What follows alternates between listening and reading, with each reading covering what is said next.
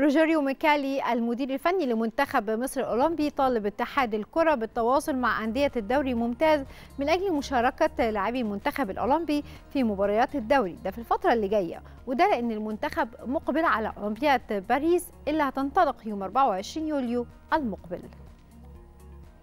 فريق المقاولون العرب فاز على فريق طلائع الجيش بنتيجة 3-1 في المباراة اللي جمعتهم ضمن منافسات الجولة. 26 من عمر الدوري المصري ممتاز. وبيحتل المقاولون العرب المركز السابع عشر في ترتيب جدول الدوري برصيد 19 نقطة بينما تجمد رصيد طلائع الجيش عند النقطة 33 في المركز العاشر.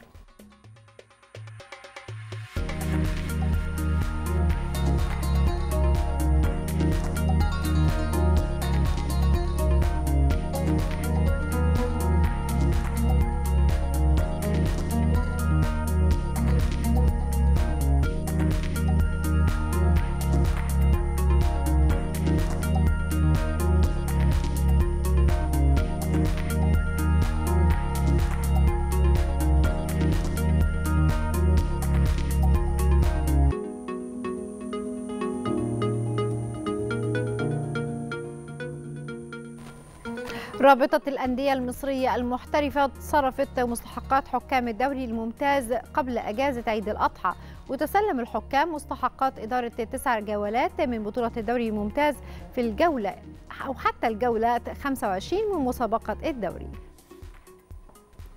النادي الأهلي قرر تنظيم رحلات مجانية لنقل جماهيره إلى الأسكندرية لتشجيع الفريق في مباراة الاتحاد السكندري في الجولة 26 لبطولة الدوري المصري. وأكدت إدارة الأهلي ضرورة اصطحاب أي مشجع تذكرة المباراة والفان آي دي الخاصة به وحذرت اصطحاب أو حظرت اصطحاب أي أدوات تتعارض مع سلامة الجماهير والمنشآت.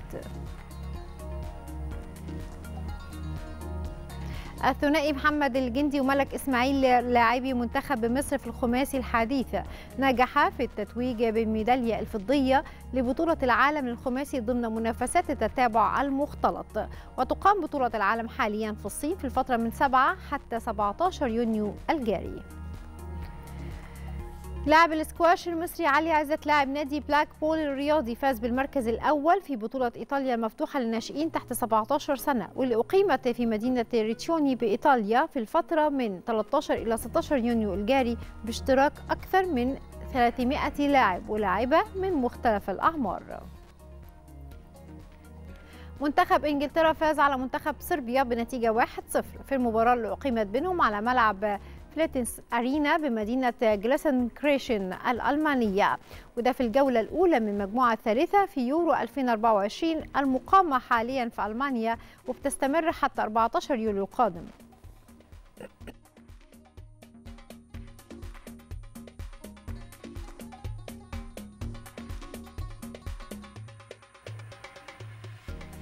منتخب سلفانيا تعادل مع الدنمارك في المباراة اللي جمعت المنتخبين على ملعب مرسيدس بنز أرينا في مدينة شتوتغارت الألمانية في أولى مباريات المجموعة الثالثة في بطولة كأس أمم أوروبا.